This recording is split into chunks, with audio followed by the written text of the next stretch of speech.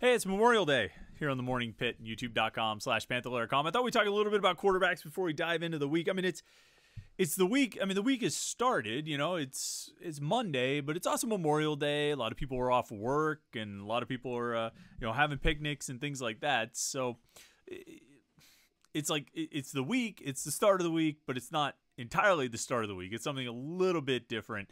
Um, don't know exactly uh, how to term it, but we're still here. We're still going to have a little bit of Pitt video content for you today on the morning Pitt and and it's quarterback week on pantherlair.com today we're starting quarterback week our breakdown of the quarterback position which means something pretty big it means we're only about 10 weeks away from the start of training camp we we, we scheduled this out we plan this out to like get to the beginning of august and we're you know because there's basically 10 positions a quarterback running back receiver tight end o-line dnd tackle linebacker corner safety um, we could probably make it like 12 or 13 positions if we went offensive tackles, offensive guards, centers. But instead, we go, uh, you know, we take the O line as one. But anyway, it's 10 positions and no love for special teams. Um, total classic move by us. Uh, but it's 10 positions. So we're like, okay, let's plan it out. We'll go 10, one per week uh, to get up to the start of training camp. And that means today, May 27th, is the day we have to start. This is when we've got to go uh, with the quarterback position. So we're starting quarterback week on Panther.com. So I thought, well, this would be a good day to talk about quarterbacks. I mean, it's not like we don't talk about quarterbacks all the time. Anyway, we had a big episode on Nate Yarnell last week, and we'll probably, you know, tap into some of that today. Um, but I thought we could talk about quarterbacks a little bit, expectations, hype. Uh, the last time you felt good about a Pitt quarterback beyond the obvious. Um, and then about the quarterback position this year. Is it the biggest question facing this team?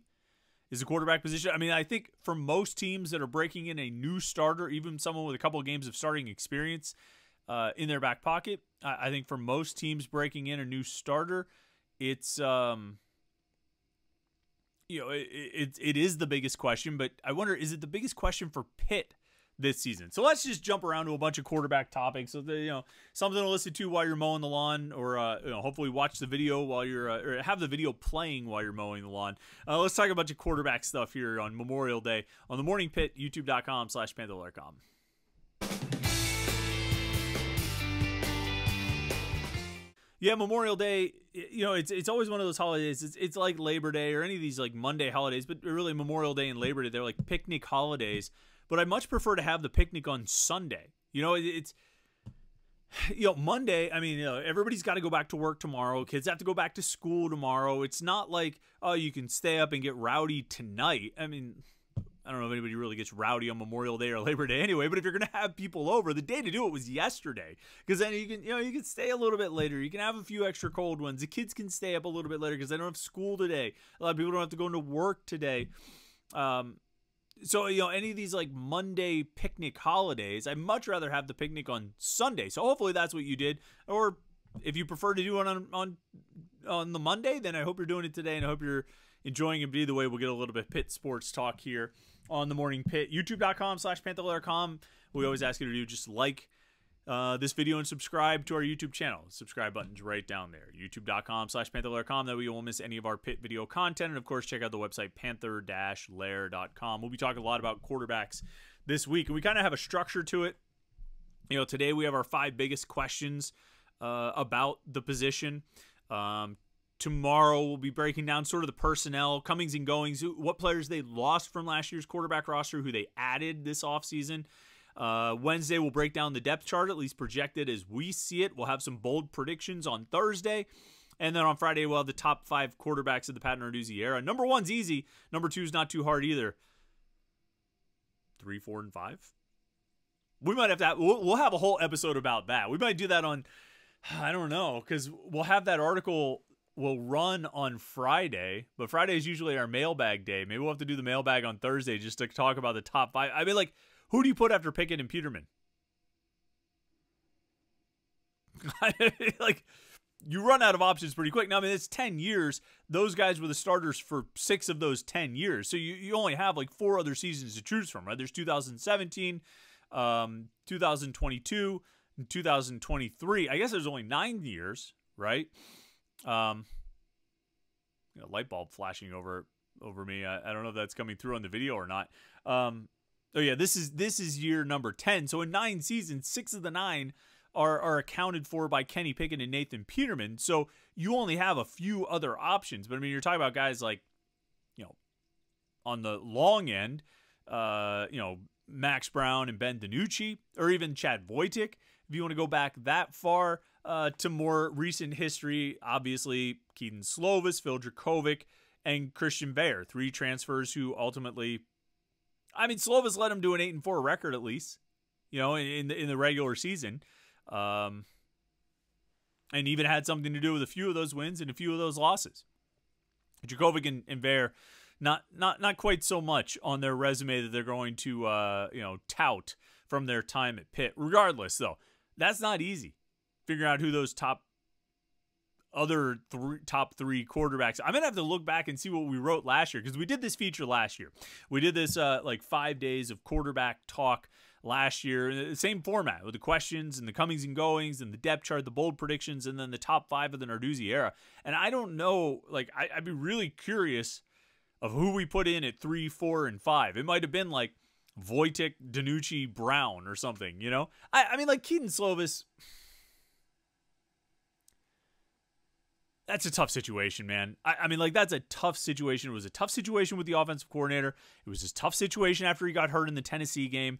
Um, I think it took him a long time to come back from that injury he suffered in the Tennessee game. I don't think he was really right for a while, if not the entire rest of the regular season. I guess Nick Patti. I didn't mention Nick Patti. We could put Nick Patti in there. I mean, does Nick Patti make the cut as one of the top five quarterbacks in the Narduzzi era? He was 2 0 as a starter, right? The Delaware game in 2019 and the Sun Bowl at the end of the 2022 season. Um, didn't put up great stats in either one of those games, but made some giant game winning plays in the Sun Bowl. Made a big game winning play in the uh, UCF game in 2019. Threw a touchdown pass. You know, ran for a couple touchdowns against Florida State in 2020, I want to say, after Kenny Pickett uh, got hurt. Um, so I guess Nick Patti would have to be in that top five. But but Kedon Slovis you know, going back to him, and I, I it's funny to sort of uh, move quickly from a Nick Patti conversation to a Kedon Slovis conversation, given how much those two are sort of intertwined in Pitt fans' uh, minds. Um, and maybe one should have started the other over the other, or maybe they got it right, whatever it may be. Um, I think Kedon Slovis could have been better than he was. You know, I mean, I think Kedon Slovis could have done better than he did. I think there were some factors that conspired against him, not entirely out of his control. I mean, he takes some blame and, and should take some blame for some of the things that happened here in that season. Um, but I think the offensive coordinator was it was a difficult situation. I think the offensive coordinator didn't believe in him. Um, might not have picked him, which I mean, it comes back to the, the conversation of Pat Narduzzi landing a transfer quarterback before the offensive coordinator was hired. Uh, and, and that's a whole separate discussion we could have another time. Maybe we'll have that this week. I don't know. Um, but I, I don't think Frank Cignetti had full confidence in Kedon Slovis. Uh, and, and, I think it showed to some extent. I, I, think some of the issues that presented themselves with the offense this past season were there in 2022 as well, and, and held back the effectiveness of, of that unit. Uh, but I, I, think Kedon Slovis was a good player. Um, I think he was in a challenging situation and one that didn't necessarily fit him. And maybe maybe if Mark Whipple had stayed another year, um, Slovis might have performed at a higher level, and he might have had Jordan Addison to throw to. But he didn't have either of those things. He didn't have Whipple and he didn't have Addison, and uh, so we have to judge him on what he had and what he did. And He didn't do a whole lot, but he went eight and four. I mean, I think we start comparing like records as a starting quarterback. He's one of the few outside of Pickett and Peterman and Patti, I guess, uh, and Nate Yarnell who have a, a, winning record as a starting quarterback under Pat Narduzzi. I get you know Chad Voytik. Um, I guess Chad Voytik would have been two and zero oh under Pat Narduzzi because he he won the Youngstown State game uh, and Akron. But I think by the end of the Akron game, Nate Peterman had taken over, so he started the next week at Iowa and lost that game. Um, you know, I don't think Max Brown had a winning record. I don't think Ben DiNucci had a winning record as a starter. Uh, Patti did. Uh, obviously, Veilleux did not, and obviously Jurkovec did not. Nate Yarnell's two and one as a starter. Nick Patti was two and zero as a starter. So I, mean, you have a small group of starting quarterbacks under Pat Narduzzi who have a winning record as as the starter. Uh, but again, I mean, so much of it is skewed by the fact that six out of the nine years were just two guys, right? I mean, it's hard to compare the other, you know, the other guys in, in anything approaching like a volume stat when, you know, so much of the playing time in the games and the starts were taken up by Kenny Pickett and Nathan Peterman. Um, so that's a that's a challenging one. But I, I was thinking about like hype and excitement for the quarterback position. You know, I think there's some tempered enthusiasm or cautious optimism, however you want to, you know, whatever two word phrase you want to you want to use for it. There's something along those lines for Nate Yarnell this year. Um, yeah, I mean, I, I talked a lot last week about how his stats kind of compared to the rest of the ACC, at least, you know, while accounting for a small sample size, he was one of the best. He had some of the best stat lines of any quarterback in the conference. Um, again, with only 70 dropbacks, so pretty small sample size. I mean, that's like less than two games for a lot of these guys. Uh, and but I mean, I think there's a little bit of excitement for him and hope that he might be able to play at a high level and, and lead this offense. But I wouldn't say there's it's not overwhelming excitement. It's not a lot of hype. But then I was trying to think of like when was the last time there was genuine excitement and hype for a, a Pitt starting quarterback? Like even going 2020 into 2021, I don't know if people were. I mean, people were excited about Kenny Pickett coming back, right? We were, if you recall, if you if you've been around for a little while, we were live that night. It was a Wednesday night live stream, and in the middle of that Wednesday night live stream, Kenny Pickett announced that he was coming back, and and it was no like I, I remember, it was a big reaction. It was a big pop on on the show. Um, because it, it, sort of solidified the quarterback position. It, it eliminated one of the biggest questions facing the team that year but I and I think people were excited about it. They certainly didn't expect him to be at the level he was at. And it's not like he had a great year in 2020. I think he had great moments, but on the whole, he didn't have a great year. Um, I think coming out of 2017, after the Miami game, when he really led the upset win over over Miami at at uh, Heinz Field, there was a lot of hype then. I think there was a lot of excitement about Kenny Pickett heading into 2018. Legitimate questions and conversations about not just if he will win a Heisman, but could he win a Heisman as a sophomore? I mean, it was it was that there was that level of hype and excitement, and I don't think he he didn't live up to it in 2018. But he also had Shawn Watson as his offensive coordinator, right?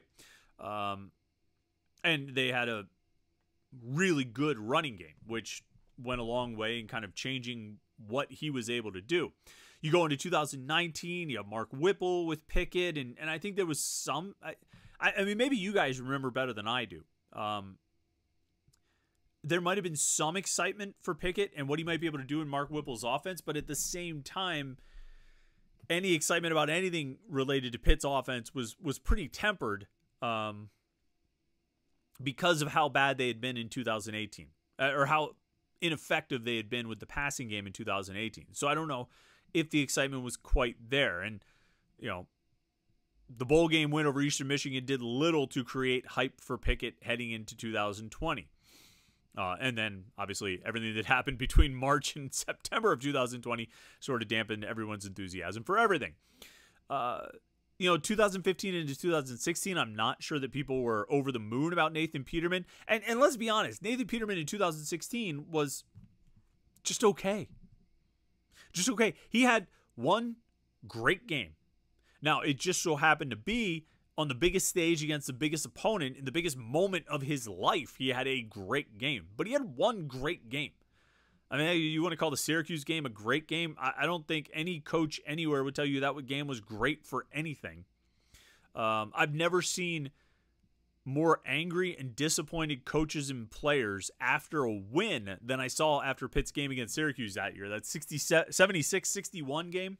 It was just absurd. I mean, James Conner, like an offensive guy, was was sick about how that game went. Pat Narduzzi was unhappy about how that game went. Um, and, and, I don't think there was a lot of uh, you know, nobody was sitting around saying like, "Wow, Nathan Peterman might be a first round draft pick." The only reason Nathan Peterman ever got himself into any kind of draft conversation was the Clemson game. And again, he played great, and it was the biggest possible stage. It was the biggest game of his life, and he stepped up to the plate and played great. He was one of several guys who had a great game that day. But the rest of his career, certainly the rest of that season, yeah, it's fine. Fine. I remember having questions about Nathan Peterman five, six games into the year of like, is this guy really any good? I mean, really? Now, Clemson game changes all of that for sure. But I don't think there was a lot of hype and excitement for him leading into 2016 uh, based on what he did in 2015. Uh, and the Clemson game kind of came out of nowhere as a result. I, I, think there was excitement about Chad Voytik heading 2013 into 2014. Uh, after the Pizza Bowl, when Voytik came in and replaced Tom Savage at halftime because Savage got hurt. Um, and Voytik, you know, led them to a victory. I think he rushed for one or two touchdowns, uh, had, had, a good game there. And, and I think that created some hype and excitement for 2014 and what he could be. I mean, they they ended up not being good, uh, as we know. But I think there was some excitement that offseason. I don't remember there being a ton of excitement um, prior to 2013. Like, were people really pumped up for Tom Savage? You know, coming off a six and seven season, which I think always is, is a factor. I mean, you don't have a returning quarterback who just led you to 10 or 11 wins. And so, you know, you don't know how much excitement there's going to be. You know, 2012 with Tino, I think everybody was done with Tino Sunseri by that point. They were done with him before that. You know, like 2008, I think people were excited about Bill Stull um, because the feeling was if they had had if they'd been able to keep Stull healthy in 2007, not only would they have gotten that West Virginia win, but they would have won like seven, eight, nine games uh, because they had LeSean McCoy because they had this defense that turned out to be great. And so I think there was a lot of belief that offseason after 2007, there were a lot of people who felt like, oh man, they're going to get Stull back. They're going to have McCoy back. They're going to have McKillop back. They're going to have all these great defensive linemen. And they're going to have Bill Stull. And it's going to be awesome. So I think there was some hype there. You know, but otherwise, like going into 2005, people were excited about Tyler Palko, certainly after the 2004 season. And going into 2003, people were generally excited about Rod Rutherford. But I mean, you don't have many years where there's a ton of hype for Pitt's quarterback, um, save for some of these one-off kind of situations where you know a young guy, unproven guy, has a big game in the final game. Chad Voytik in the Pizza Bowl, Kenny Pickett against Miami, so on and so forth. Um, I don't think you have that level of hype this year. I know you don't have that level of hype this year. You know, no nobody's that excited about Nate Yarnell, and I I think there was. I think people thought Kedon Slovis could be pretty good, but I don't think they had real hype about it. You know what I mean? Entering 2022. And I think there were enough people who had real questions about Phil Jurkovec entering 23. I mean, I even had questions about it. You know, I mean, we when we would talk on, on these podcasts, I would be like, well, we'll see. We're you know Pitt's asking him and hoping for him and counting on him to do something he's never done before, which is make it through a full season healthy. Now, I, I wasn't right about that concern. But there were plenty of other concerns that reared their head that made that situation very much untenable with his level of play. Um, and so, you know, I, I, I think I, I would put more emphasis on the optimistic side part of the cautious optimism this year than I would have last year. I think people were far more cautious about Phil Jurkovec and far more optimistic about Nate Yarnell. Is he the biggest question mark on the team, though? This might even be a good question for tomorrow since we're already like 19 minutes in here or 20, almost 20 minutes in um, you know, maybe we can uh, talk about whether or not quarterback is the biggest question mark in the team because there are question marks. I mean, we, we talk about them all the time. What are the biggest question marks facing the team? You know, what, what do they need here? What do they need there? What's the O line? What's the, the wide receivers? And quarterback is certainly among the question marks. Is it a bigger question mark than the wide receiver position? Understanding that those two are, you know, sort of linked and they're not, you know, you can't really talk about one without the other and one's not going to succeed without the other. But where do you have more questions? Do you have more questions about the quarterback or the wide receivers? Do you have more questions about the quarterback or the O line depth? You know, do you have more questions about um, the quarterback or, oh, I don't know, the offense? This is a good topic for tomorrow. Little little teaser here, a little preview. This is what we're going to talk about tomorrow, so you can think about it tonight, and then we can uh, you know put your comments in in in the uh, comment section here. Put your answers. Uh, uh, what's the biggest question mark on Pitt's offense this year? Put it in the uh, the comment section here, and I'll I'll read those, and we can we can make that part of tomorrow's episode. But I don't know. It's interesting every now and then, particularly on a day like Memorial Day, where you know maybe it's a little bit lazier than usual. You can sort of let your mind wander and think about quarterbacks of the past and what it's been for Pitt. Um, certainly in the Narduzzi era, but even if you go back earlier in the 21st century, um, you know when when was the last time you were really excited about a Pitt quarterback? Was Kenny Pickett in 2017, like heading into 2018? Probably right. Is there anything else that comes to mind? Anything else I'm forgetting? Oh, and help me out with this top five quarterbacks in the Narduzzi era.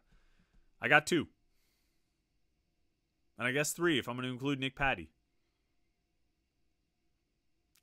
Help me out. Let me know what you got uh, in the comment section. And of course, like this video and subscribe, youtube.com slash pantherlaircom so you don't miss any of our Pitt video content. Every day we have these morning Pitt videos. Every Wednesday night we have a live stream at 8 p.m. We have interviews and press conferences, all those kinds of things. And it's all right here at youtube.com slash pantherlaircom. So make sure you uh, like and subscribe and check out the website panther-lair.com, pittsburgh.rivals.com to never miss any of the Pitt sports news. Football, basketball, and recruiting, we cover it all. Panther-lair.com. Thanks for uh, tuning in today. Hope you had a great weekend. Hope you enjoy your Memorial Day. Have a happy and safe one. And we'll catch up with you tomorrow on the Morning Pitt on youtube.com slash pantherlaircom.